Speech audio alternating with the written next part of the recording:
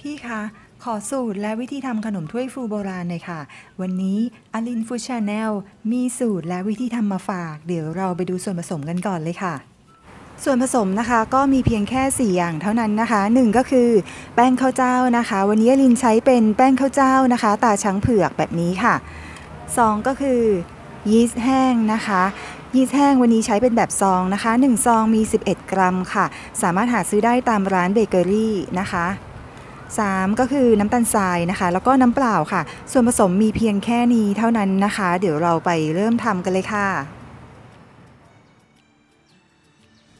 ขั้นตอนแรกนะคะ ให้เราผสมน้ำตาลทรายกับน้ำเข้าด้วยกันค่ะ แล้วก็ใช้ตะกร้อมือนะคะ คนผสมจนกว่าน้ำตาลจะละลายค่ะ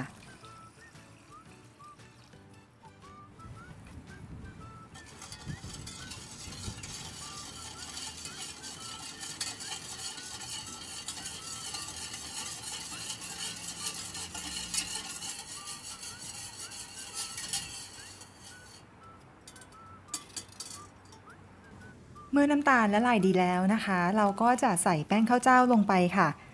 หลังจากนั้นนะคะ เราก็จะใช้ตะกร้อมือนะคะ คนผสมจนกว่าแป้งจะละลายนะคะ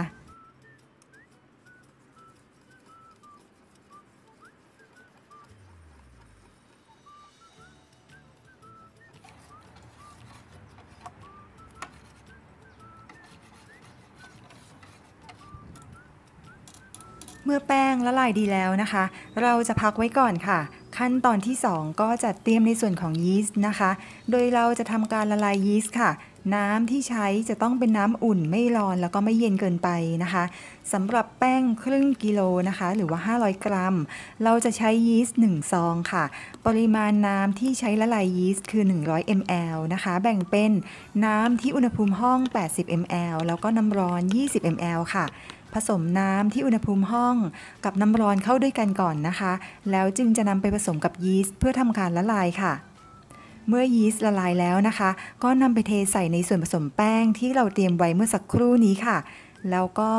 คนให้เข้ากันนะคะ หลังจากนั้นเราจะปิดฝาไว้ เราจะหมักแป้งทิ้งไว้เป็นเวลา 2 ชั่วโมงค่ะ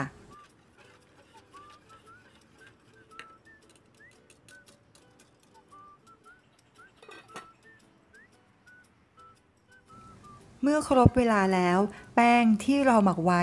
จะต้องมีฟองอากาศฟูขึ้นเยอะแบบนี้นะคะ อรินจะคนให้ฟองอากาศกระจายตัวออกค่ะ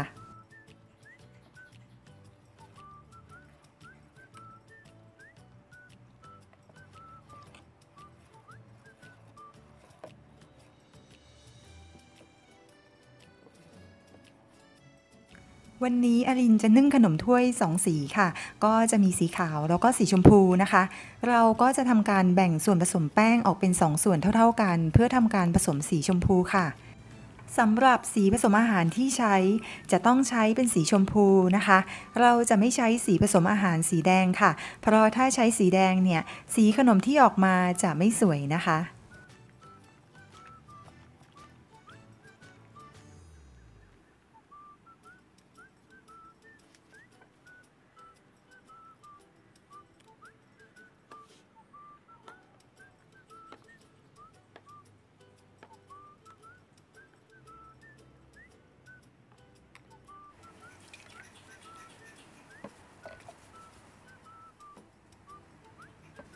ขั้นตอนที่ 3 เราจะนำส่วนผสมแป้งไปนึ่งค่ะ โดยเราจะตั้งน้ำให้เดือดรอไว้ก่อนนะคะ แล้วจะต้องนึ่งพิมพ์ถ้วยให้ร้อนก่อนด้วยค่ะ เพราะจะช่วยทำให้ขนมที่ได้ไม่ติดพิมพ์นะคะ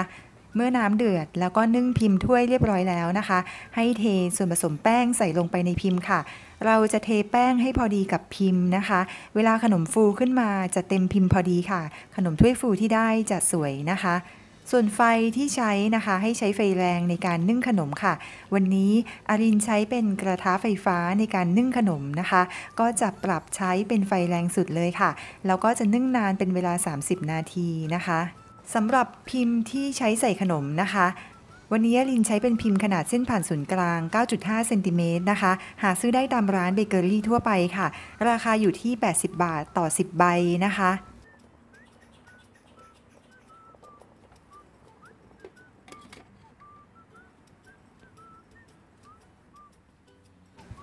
เมื่อครบเวลาแล้วให้เปิดฝาแล้วก็ปิดไฟได้เลยนะคะ แล้วนำขนมขึ้นมาวางพักไว้บนถาด หรือว่าตะแกรงเพื่อพักขนมไว้ให้เย็นค่ะ ปริมาณแป้ง 500 กรัม สามารถทำขนมถ้วยฟูโบราณแบบนี้ได้ทั้งหมด 7 ลูกนะคะ ทั้งนี้จะต้องใช้พิมพ์ขนาด 9.5 เซนติเมตรนะคะ จึงจะได้ขนม 7 ลูกค่ะถ้าใช้พิมพ์ใหญ่กว่านี้ หรือว่าเล็กกว่านี้นะคะ ปริมาณขนมที่ได้ก็จะแตกต่างกันค่ะ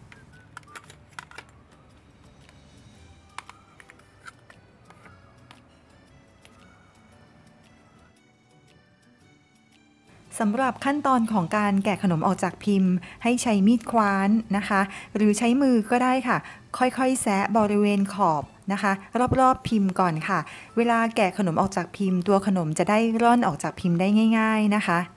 เราจะไม่แกะขนมออกจากพิมพ์ตอนที่ยังร้อนอยู่นะคะ จะต้องรอให้ขนมเย็นก่อน จึงจะค่อยแกะขนมออกจากพิมพ์ค่ะ ถ้าแกะขนมออกจากพิมพ์ตอนที่ยังร้อนอยู่นะคะ ขนมจะติดพิมพ์ค่ะ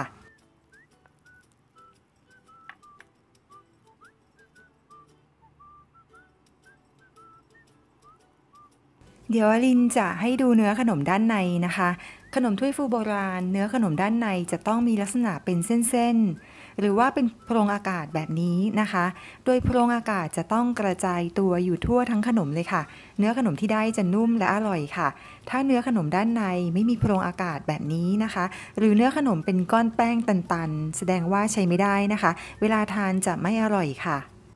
สูตรที่นำมาฝากในวันนี้ เป็นสูตรที่ช่างตวงวัดแล้วก็ทำมาหลายรอบแล้วนะคะ สามารถนำไปใช้โดยที่ไม่ต้องปรับสูตรได้เลยค่ะ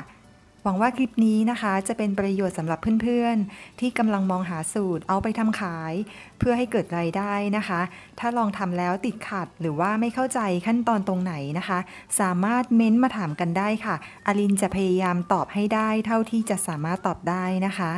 ถ้าชอบคลิปนี้อลินฝากกดไลค์ กดแชร์ กดติดตาม แล้วก็อย่าลืมกดกระดิ่งแจ้งเตือนไว้ด้วยนะคะ จะได้ไม่พลาดคลิปใหม่ ๆ ของเราค่ะ ขอให้ทุกคนมีความสุขสนุกกับการทำอาหาร แล้วกลับมาเจอกันใหม่คลิปหน้านะคะ สวัสดีค่ะ